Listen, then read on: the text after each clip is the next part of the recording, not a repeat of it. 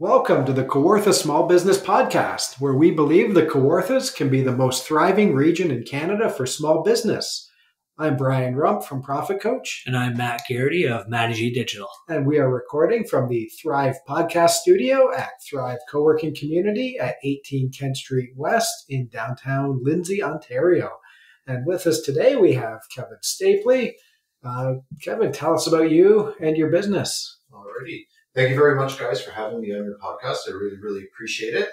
Uh, as Brian said, my name is Kevin Stapley, and I am a conflict management professional. So I work as a mediator, mediate civil matters. I can do workplace matters, neighbor disputes, things of that nature. The only thing that I don't really do is family. It's kind of specialized, and the thought of sitting down with couples that are getting divorced to go over their assets and splitting things up in custody just didn't appeal to me. So, but I'll I'll stick to to you know other things that work a little bit better for me. So I do mediations for that sort of thing. I also do conflict management coaching. So mediations are two party, right? Get people together and help them to work through their problems. Conflict coaching is one on one. So you have a coach and a client. So this would happen if a if a you know a client is having either a conflict with another person and they're not sure how to handle it, how to best go about it, then they might come to a coach, and the coach will sit and I have a, a system, a process. I'm trained in something called the Cinergy program, which is, you know, it has a series of steps and we work our way through them together. And the idea is that it's supposed to help to uh, set goals. What are they hoping to achieve? How do they want to manage it? What is the problem? What does it look like? We take it apart. What is, what is it like for that person? So for the client, how is the conflict for them? Have they experienced it? And then we have them walk through it again,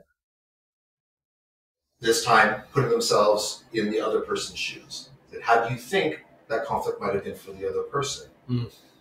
And we walk back through a process. The idea is to try to help the person understand better for themselves what it's what's going on for them.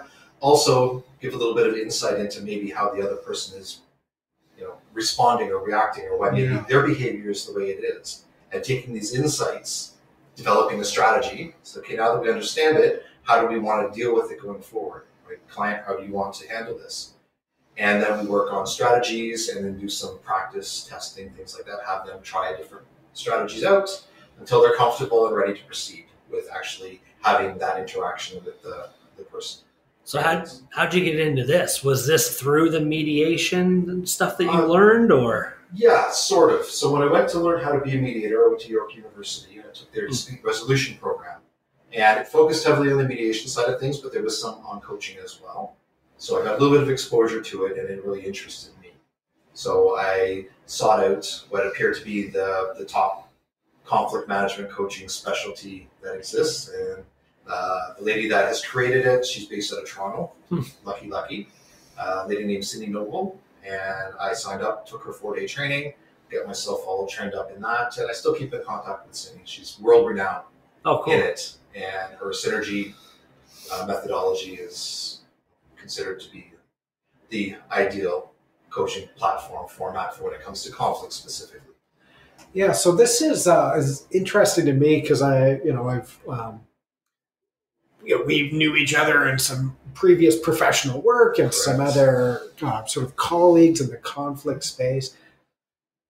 I think the, the kind of gap I'd like to bridge is when we hear about this, it almost to me it's like imaginary situations that I might never see myself in.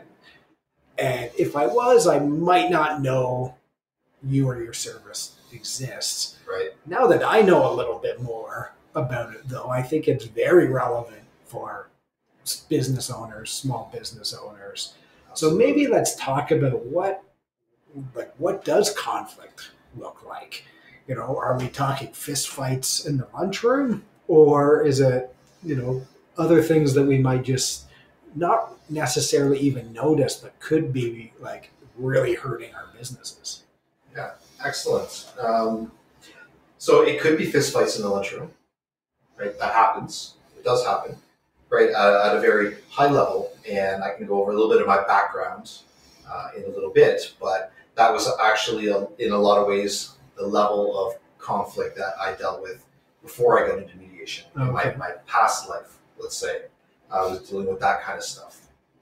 But conflict really, it could be something very, very small, very minor, very minute, right up to fistfights or, you know, it doesn't have to be physical, right? There are all kinds of, you mean, you and your listeners, you know, may have past relationships that, you know, people that you used to care a lot for, got along really well with, that you no longer associate with because of conflict some kind. Could be coworkers, could be in your personal lives, right? Conflict is it's natural, happens to all of us, and it's actually not a bad thing in and of itself. It's how we handle it Mm-hmm. that determines Yeah. whether or not it's positive or negative. You get people together that have differing opinions, but like and respect one another and can communicate with each other in a way where they can feel comfortable sharing an opposing opinion with somebody else, Yeah. and the other person will receive it not as an attack, but as a different opinion. Right? And sometimes it leads to innovation and you know, ideas that had, would never have been thought of if people kept things to themselves hmm. right? So teams that can do that really, really well, then you know they grow, they boom, and they're not afraid to collaborate, work together, and oftentimes what they come out with in the end is something way better than what they started with Yeah. or where they thought they were even were going to go. But the teams that are able to do that really effectively are, um, you know, in a lot of ways the exception, not the rule. Oh, they really are. Yeah. Yeah. As someone who's worked with businesses for a long time, and you know, I've gone through my own journey of conflict management and avoidance, and I think I admire the people who could figure out healthy conflict quicker. Yeah. Because it's you know it takes friction to polish a diamond, right? Very good. Yes. Um, you know, you Write that one down. you, you know, you need to learn how to do that and how to disagree and how to push back. And I was listening to another podcast today, and one of the hosts was talking about um, he was an, in his early career was in a job and he was always kind of arguing and asking questions to the boss, and then he thought he was being annoying, so he stopped. And the guy actually pulled him aside and was like, "What are you doing? Your job here is to disagree with me because you're so good at it." right. and so thoughtful and it always makes everything better um, and he realized that was one of his his skills so it's important to be able to have those conversations and to Absolutely. work together Yeah, absolutely, absolutely. And conflict itself, like what it is, why we experience it, is because we are all unique individuals. We have our own needs, our own values, our own sense of identity, sense of self, right, that are unique to us. Right? We may share some of these things with each other and other people as well. But we are all unique individuals, and when we assess the world, assess information, make decisions, we do it from you know within our framework, right? How we look at things, what matters to us, that sort of thing, right? But in reality, everybody is sitting there processing information, Yeah. running it through their own filters, and it's reasonable to expect that different people will come up with different outcomes Mhm. different priorities, all that sort of thing, right? So it's up to leaders, good leaders, to make sure that they provide some structure to their teams so that there's a healthy and, and organized way to go about this. Otherwise, it can just be chaotic and, and just kind of all over the place. But, you know, sharing perspectives, you know, not just ideas, but also backing it up with the thought, thinking behind it.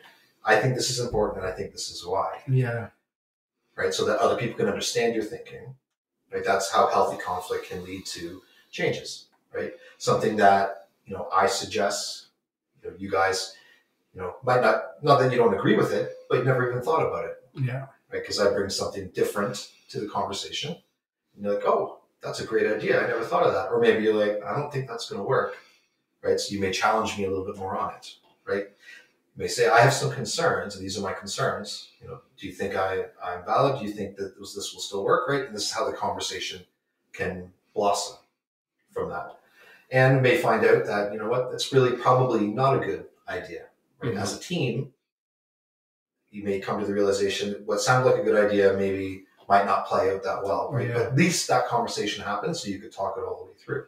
Mm. When people don't feel comfortable doing that, then a couple people monopolize the entire conversation, Yeah. and people just sit there, keep their mouths shut, and be unhappy, not like what's happening, and then complain to everybody else, Oh yeah. right? Which is the Or not do it, right? Um, Yeah. Which I think in the workplace is one of the biggest things I see in coaching is like, you know, people will come in, the business owner, I kind of help them with some different things, but it's all about executing it. And Yes. then if you have a great idea or a great thing, and then you have staff who are like, yeah, no, not doing that, or you know, this person and this person don't get along, it just costs. The opportunity cost is astronomical when you start measuring it. Yeah, yeah. There's so many costs. Poorly managed conflict, you know, in life, but in the workplace, Oh yeah, it, the, the, the cost in time and absenteeism and turnover and lost productivity and opportunity costs, like all these things, right? You don't always see them. It's not like, you know, you know, you lose a client and you lose a bunch of sales, right? Yeah. Some some things in business are very observable Mhm. and you can see them and you can measure them and they're right there. Some other things happen a little bit under the radar and you'll see it in the numbers. You'll see it out in the, the observable uh, part of the business, but it might not necessarily be that clear that there's this connection between the two. yeah, And conflict is one of the biggest uh, realities of that. And these days, businesses are getting better. Like business owners are getting better at recognizing this and starting to enlist the services of professionals to come in and help work through workplace culture, things like that, and try and get a handle on things. Right. So that's where people like myself can be of value. Right. And you might not see the the benefit from a bottom line standpoint right away. But if you invest in helping your staff either help them learn how to communicate better, right, understand their conflict styles and how to communicate without triggering each other and have these better conversations, then productivity increases, people become happier, the culture improves, and people want to stick around, right? Aren't looking for the yeah. exit. I would almost, if someone's listening to this, it'd be cool to do an experiment because I actually think you could probably get a pretty quick turnaround on an investment like that. Mhm. just thinking of you know some people I've worked with who've resisted bringing in a professional or re- they've resisted like addressing that conflict for you know again that's another conflict in itself for Yeah. the reasons they resist it but just you know I, I think of one in particular who resisted resisted resisted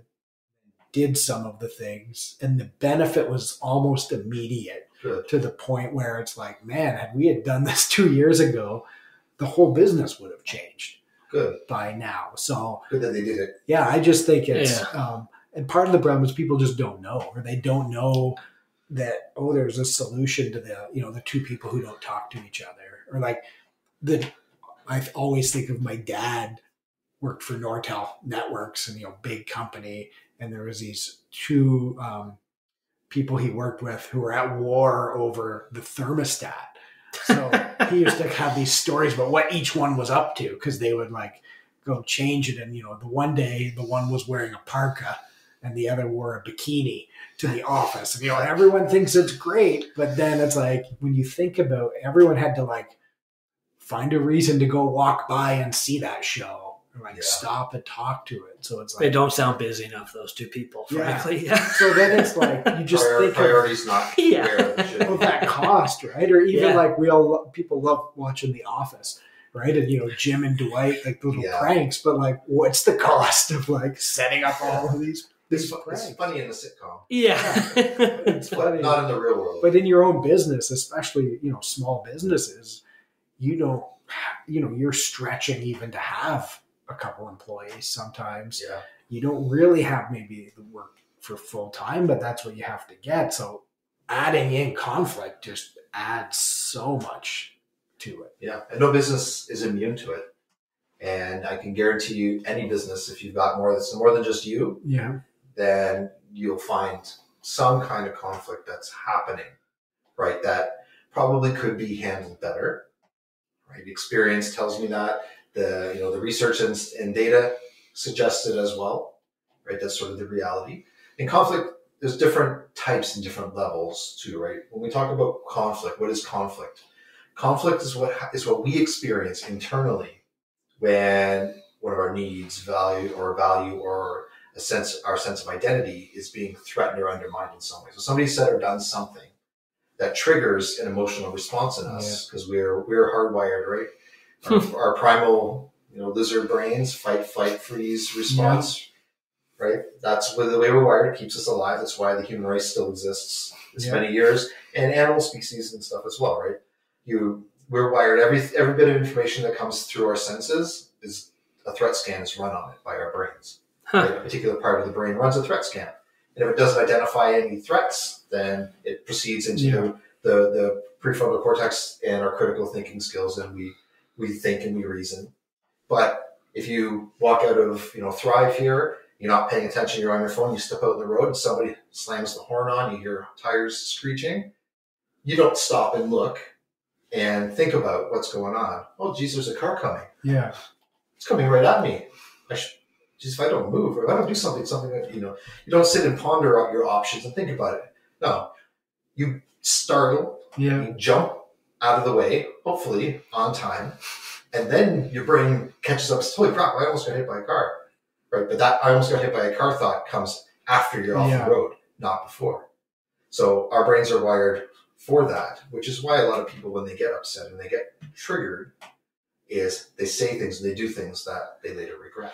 That instance you just talked about right now, like I saw someone last week almost get hit by a car across the street there, and it was their own fault. And their reaction was giving the middle finger and swearing at the car. Yeah. And it's just fascinating. I obviously don't know a lot about stuff. I don't know anything about this. It was interesting to hear you say that. Yeah, like when you get triggered, you don't know some you know how you're going to react, but people react all different ways. Yes, and it's usually not done with a lot of conscious thought. Yeah, because that's slow.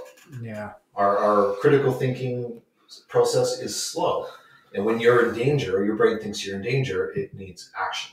It's wired for action. It shuts off that part of your brain, and the primal part comes on, and it's it's protect yourself, either defend, run away, yeah. or in some case freeze up that those are the three primary responses. When you one or the other, you're either going to run from it or you're going to fight against it. It's all about protecting yourself, and your brain can't tell the difference. That's so interesting. Sorry. Yeah, yeah. the brain, uh, the brain can't tell the difference between like getting hit by a car or somebody calling you a mean name, right? That I'm, you know, I'm not going to use it, you know, yeah. any profanity in the podcast, yeah. but you know, they come up to you because you know so like i said there's our needs there's our values right our values are the rules through which we live our lives right and yeah. we have you know uh, we process all information based on that right? We decide what's good and bad what's right and wrong whether we are being good people or bad people or somebody else is a good person or a bad person all that sort of thing based on our values yeah. right? And it's it's how we were raised who we were raised by like our parents and our families and society where we happen to grow up in the world all that sort of thing. And when things are happening that run contrary to our value systems, then I think it's a, a threat. That's it's uh, threatening our, our way of life. I think about that, and even a, a, simple small business thing, and I've seen this a lot, is like certain generation or certain type of people are always say 15 minutes early to work, and then they get really upset at the people who are one minute early, and now all of a sudden they're they feel threatened or their values are threatened and now they're mad about that instead yep. of focusing on their job for something that's not even a rule violation but it's a difference in right. values and, and, it causes them to look down on the other that other person yeah. who shows up a minute late now that entire person yeah is a worse person because of that one yeah. particular trait which is a whole other conversation about psychology and that sort of thing yeah. right? where we take shortcuts yeah. right? To, to understand the world and oh, yeah. our values and that sort of experiences feed into that. If you're used to being 15 minutes early and you think that's the way it should be, and then people show up one minute early and they're like, so what's the problem? I don't care. Yeah. Like, well, that's an attack on your principles, yeah. Mm-hmm. right? So suddenly you're triggered, you're upset, and you're like, you know what, this this person doesn't get it. Yeah. Right? They're they you know So then they start sabotaging each other a little bit at Yeah. work or Fighting over there's some thermostats or whatever. Yeah. whatever Yeah. it happens to be, right? But that's that's the kind of stuff and it happens all the time. And low level, you know, right up to to significant things, Yeah. right? But it's consistent across us all. I'm sure as I, I'm talking, I'm hoping your viewers, the viewers, listeners, uh, are making some connections to this stuff as well, right? We can apply our own personal experiences Oh yeah. to this where we've done the same darn things ourselves Yeah. right? And and we'll, I'll continue to do it. Difference between me now and me 20 years ago is that I can catch myself now a little bit. I have more clarity. I understand what's happening. So when it happens, I'm like, oh, silly me. But I can turn it around usually pretty quickly, right? I mean, not everybody has that uh, self awareness, right? Which is part of what I'm hoping to help people to gain this self awareness, so they can conduct their, you know, guide their behavior choices a little bit more constructively. So I'm looking at. So I think where I was originally going with the whole idea with the conflict is that conflict initially is something that's internal. So we call Mhm. conflict is internal. Yeah. Somebody does something, somebody says something to you, and it triggers that kind of response. And now you're a little bit annoyed, upset, concerned, whatever you want to call that emotion that you feel. But the other person doesn't necessarily have any idea until you say something, Yeah. until you somehow make it known to them. Then they have then the opportunity to either acknowledge it and apologize, say, geez, I, that, I didn't mean to, right? I'm really sorry, right? And then hopefully that just kind of deals with it, right? Settles things down and, and whatnot. Or they may take a completely different approach and say, so what? I don't care, right? That's a you problem, not a me problem, Yeah. or something to that effect. Now you have what we call a dispute, Mhm. right? It's conflict that went from being internalized to externalized, but the other person, the source of the conflict, has rebutted your position.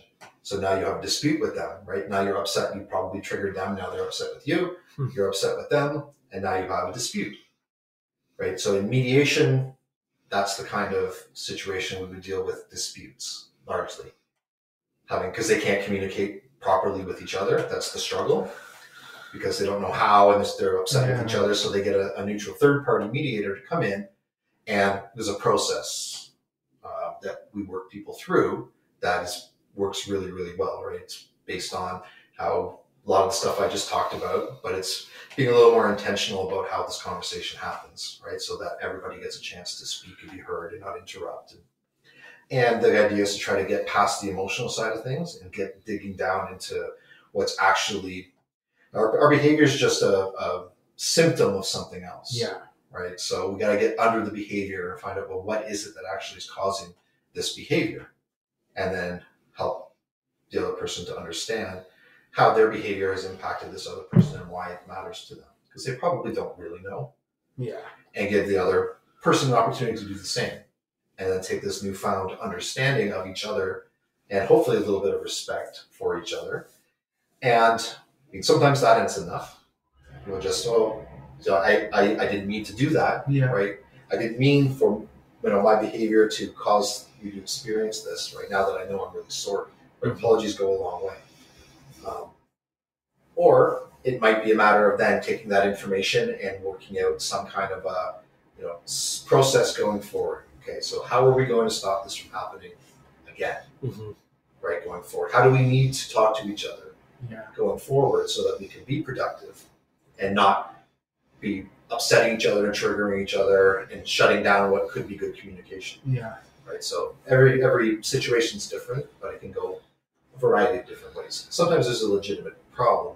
Maybe that you have to get a team together because there is a business related Yeah. issue that needs to be resolved and it takes you know a team to do that right? So we can work through that. Once we get through once we get through the relational side of things then we can work on problem solving side Yeah. things This is uh, I'm thinking about Matt's lizard brain.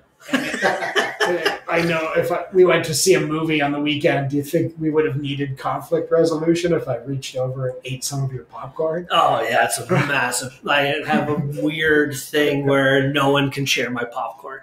Anyway, I, I always joke about because some people it's just a fun example. If no one knew that, it was like, oh, It's an popcorn, like- unreasonable trigger of mine. Okay. So now, why do you think that is? Probably past trauma, maybe. but have you had, had a bad experience with people stealing popcorn? no, when, when my wife found out that I got annoyed by it, she would intentionally take popcorn. But yes, That sounds like a sounds like a marriage. that thing. sounds like a marriage thing. But uh, it's it's interesting though that when you were talking about conflict management or just conflict management in general, I thought conflict management was dispute management. If that makes sense. Yes. I thought that is the whole conflict. But it's interesting now to learn that conflict could just be not even a disagreement, but we saw a movie the other day and Brian's like, I liked that movie. I also liked the movie, but if I said I didn't like the movie, that's now conflict. Yeah, especially if you follow it up with, I don't know why you'd like a movie like that. That was the stupidest movie ever. You have you have no taste in movies. Now you're attacking Brian's character, right? Now you're suggesting that he his taste in movies is something wrong with his taste in movies. Mm-hmm. which is going to trigger a defensive response from Brian. And you're going to be emotionally triggered, Brian. Yeah. You're going to be like, what's wrong with my taste in movies? Right? Who are you to tell me that I have poor taste in movies, right? I happen to have the best taste in movies. Your movie choice suck, Matt. Mm-hmm. But that's a that would be a fair response to him. It might be. You know what I mean? Yeah. But And now, next thing you know, I'm getting an air horn off while you're on a sales call. Right? Like, we call that escalation. yeah, Yeah. Just start escalating. but it's interesting, like because I also thought, yeah, the dispute management and everything that not we were going to be talking about, but you were going to be selling as a service would be, oh, someone at a counter or a bad sales call or something like that. But it's interesting the idea of the internal conflict that you would have with people, and like I could have internal conflict with Brian, like we just did a coaching thing an hour ago, or uh, a couple hours ago, I talked to a couple members of my team, and that could have been an internal conflict. And Yep. in some ways, Sometimes you want the good conflict. I wanted conflict, and that's what I was going to bring up. Where I asked them about those two things we talked about, like case studies and the contact page on my website, and I didn't get much feedback. So in my head, I'm like, why am I not getting feedback? Am I a jerk? Do I normally tell people they're wrong when they give me their opinion? Am I like not supporting that well enough? Um, and it's almost a, marketing problem that you're going to have of how do I tell people what this conflict management is? Because that might be me looking at, well, okay, I need to like improve the culture of my team. So I'm going to get a people and culture coach, which is a stupid title, but, um, uh, or I'm going to get like customer service type of person. Yeah, like some people it's just a bit of everything though, right? What you're doing. So I think that's gonna, not a challenge, but in a, in a way, it, it's kind of positive too. It's opportunities, but Yeah, no, and I and I agree. And this has been, you know, there's a reason why we all acknowledge, and most people, when I talk to them, do acknowledge conflict is a problem in my personal life. It's a problem in my professional life. But getting people to actually take action towards doing something about it has, you know, Yeah. historically been a problem. Once you start peeling the layers back, it, Yeah, well, it's that- hard. It's uncomfortable. Some people don't want to face it. Mm-hmm. which is a, another thing. Coaching is good for that sort of thing because it's you, you develop a relationship with your coach, right? And it's personal, one on one, and it's confidential.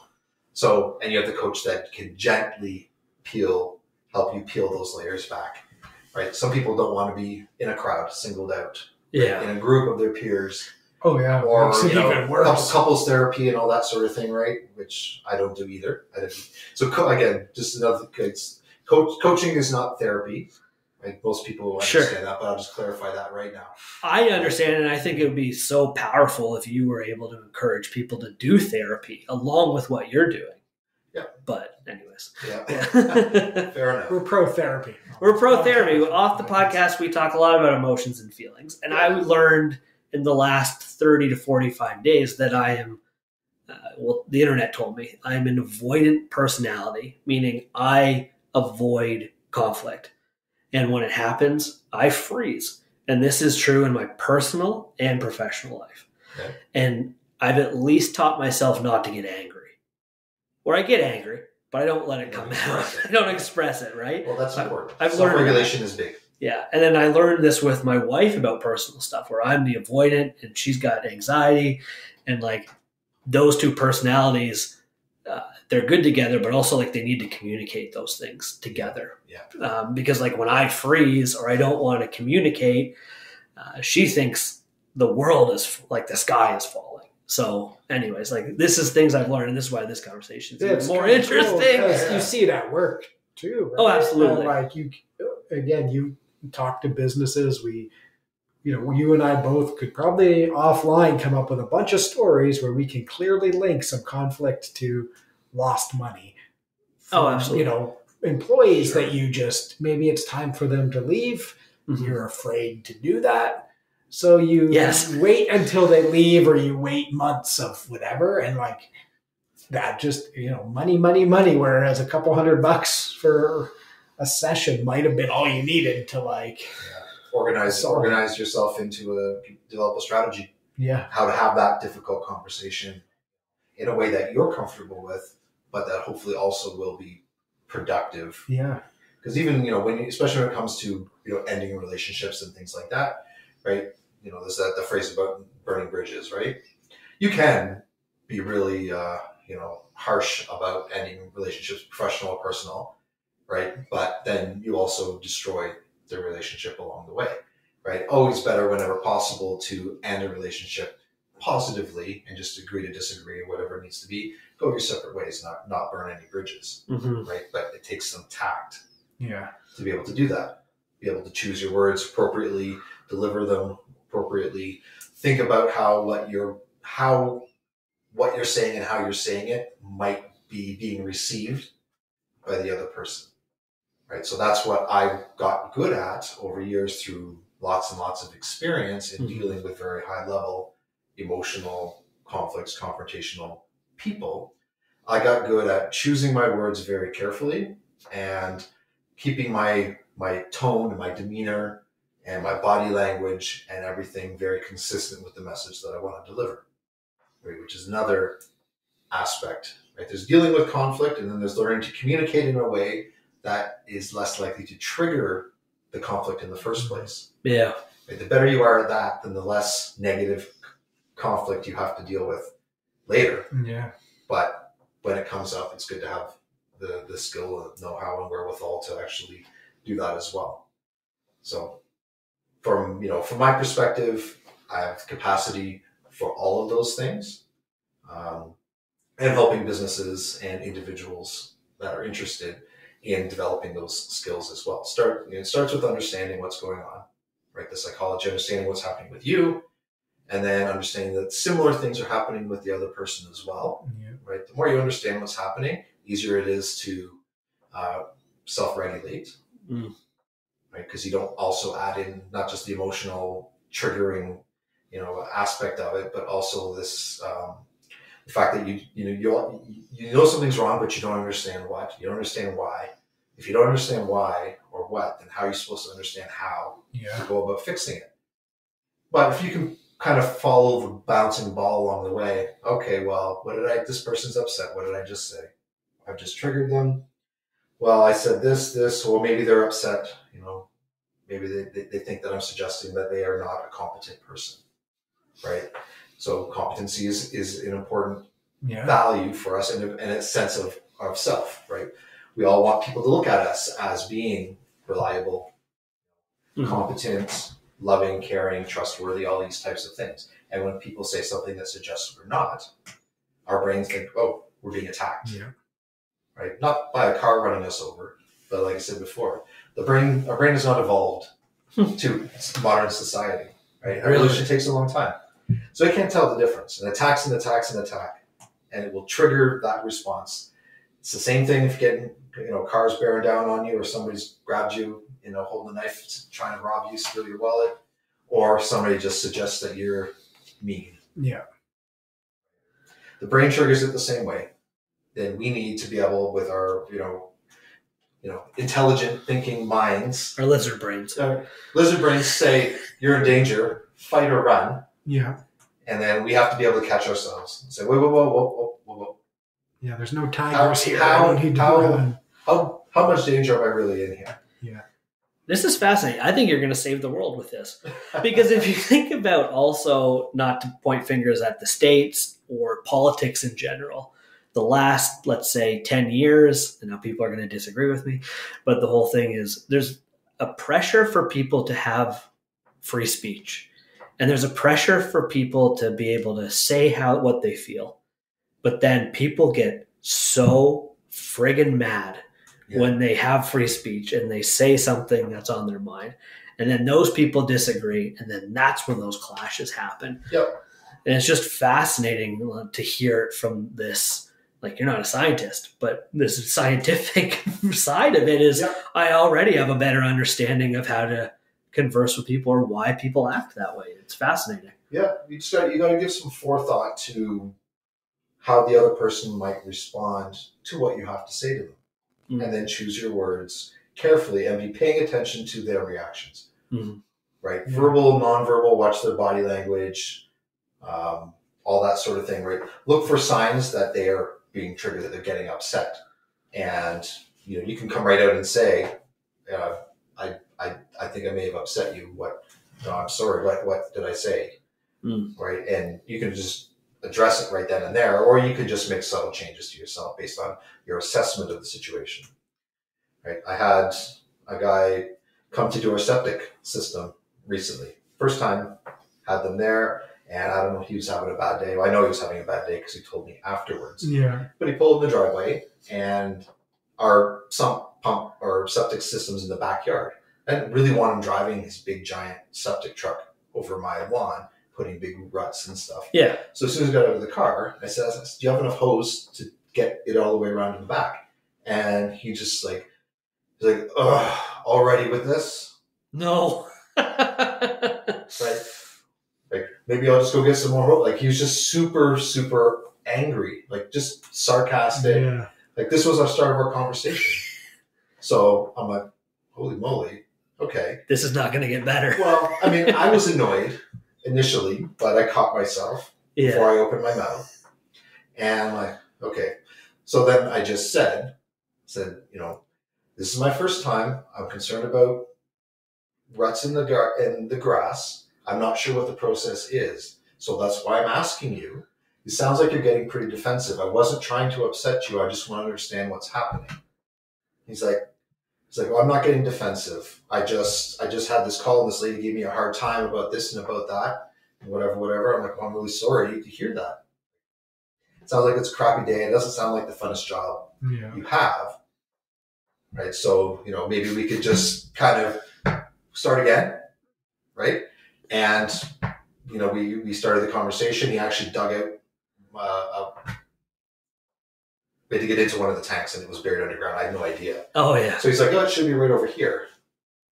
I'm like, okay, not very deep, right? He's like, no. He's like, got a shovel? I'm like, I do. So got a shovel. He dug it out for me. Oh, wow. And I just stood around and chatted. And I mean, it ended up being a big mess. But he did more than he needed to do, yeah. yeah. like, technically, considering the mood he arrived in. And I let him, you know, complain about the boss and complained about the customer. and I just let him go. I, you know, whatever. And when he was done, I gave him a little bit of a tip. I'm like, I appreciate all the extra hard work.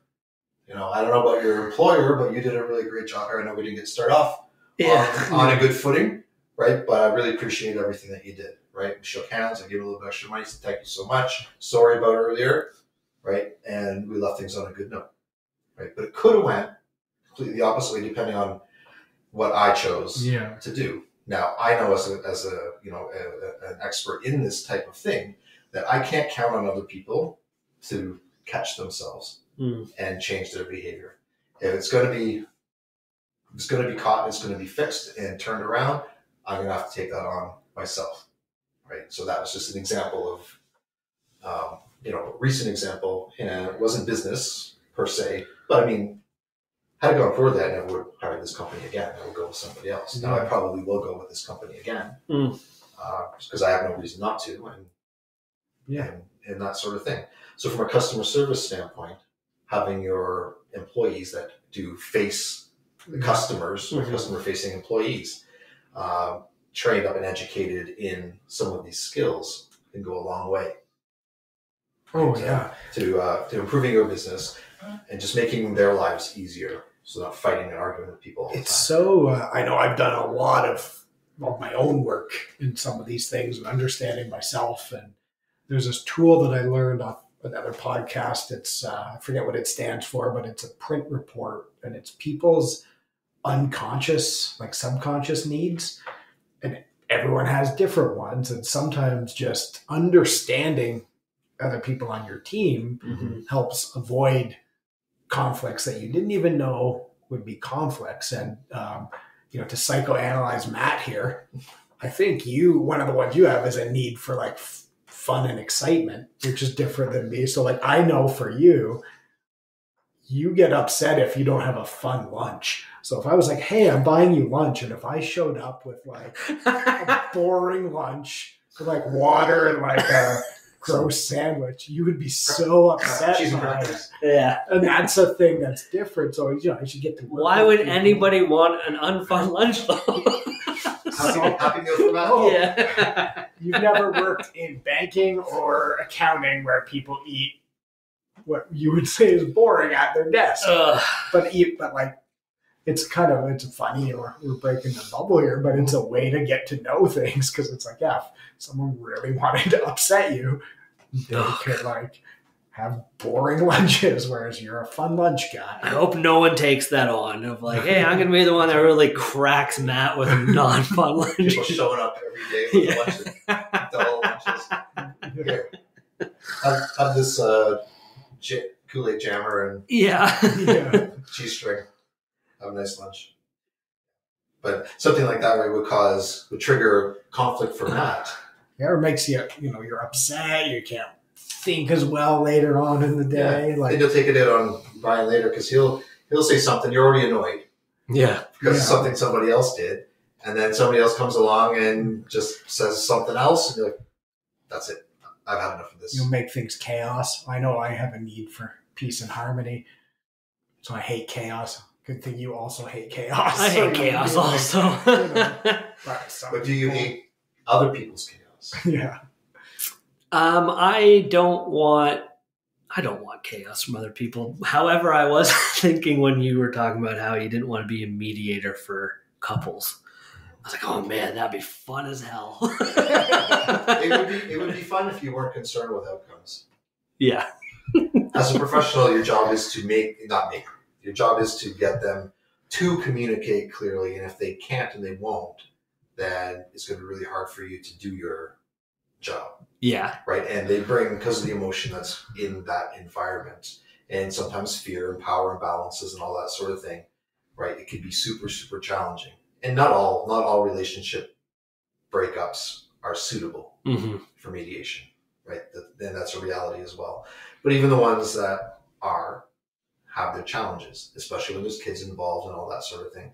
So it would be it, it's something that would be fun to like stand back like fly on the wall and watch That's a Netflix series. but when your job is if your job is to actually manage that chaos, it's a it's a different uh, different ballgame, which I very early on chose not to get involved in. Mhm. Right? There's big business in it. Like you, you know, people do very very well at it. It's just not for me.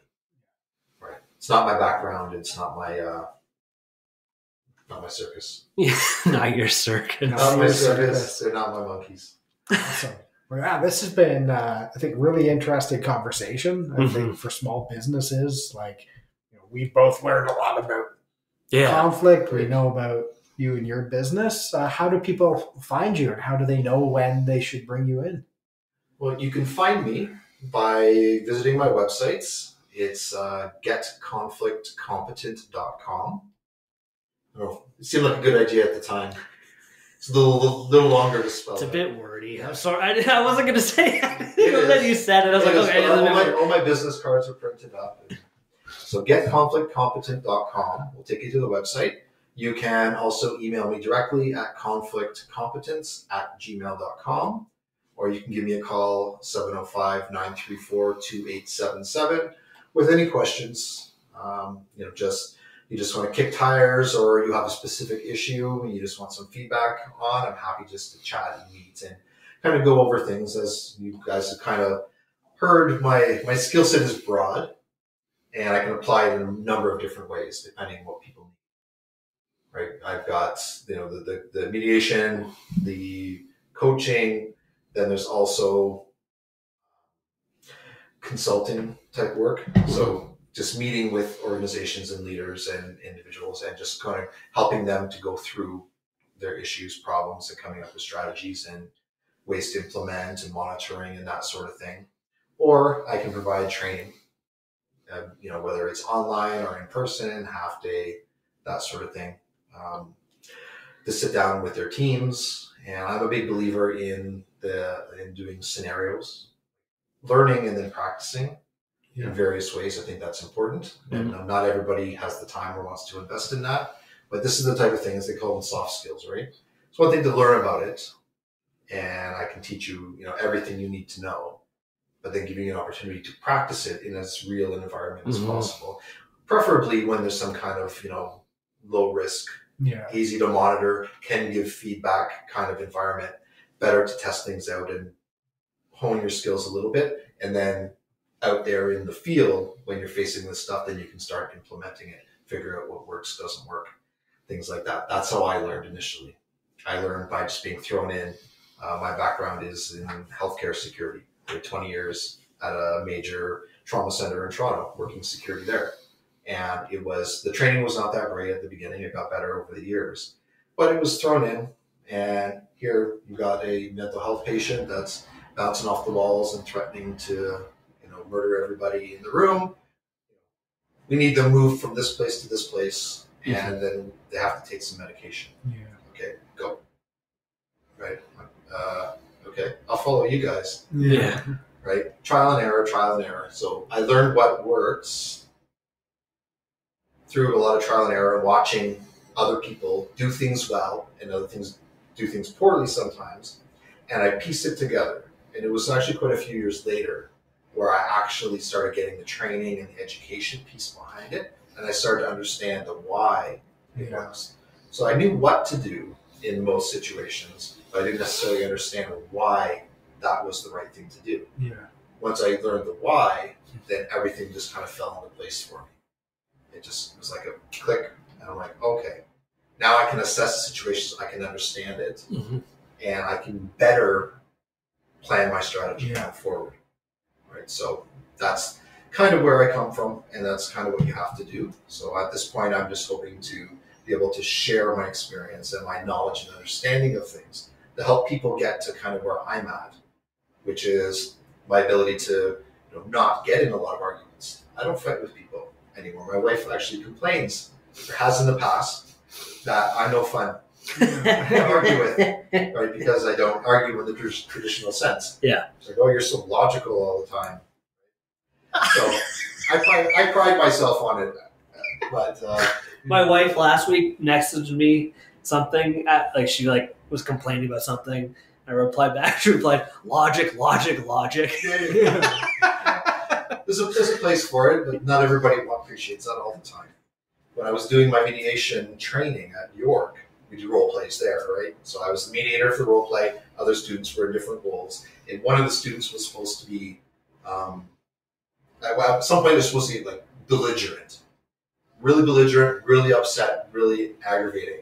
So we're going through it, and we're doing the mediation, and I'm managing everybody, and not really thinking about this side of things. But at, at a point, she's like, "Can we just like call a timeout here for a second?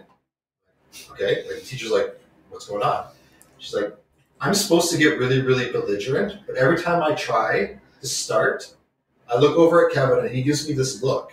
it just shuts me down. Yeah. She's like, I can't, I can't even even acting, I can't get really angry and belligerent. And it never even occurred to me that that, that that thought had never entered my head. At that point, I was still in the security role, transitioning into what I'm doing now.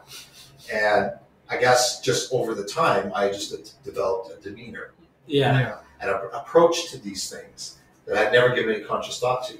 But I've heard it a few times since that just what I, the energy I bring into these situations makes it hard for people to actually really escalate and come up against me. Right. So I'm still trying to figure out how to bottle that. Yeah.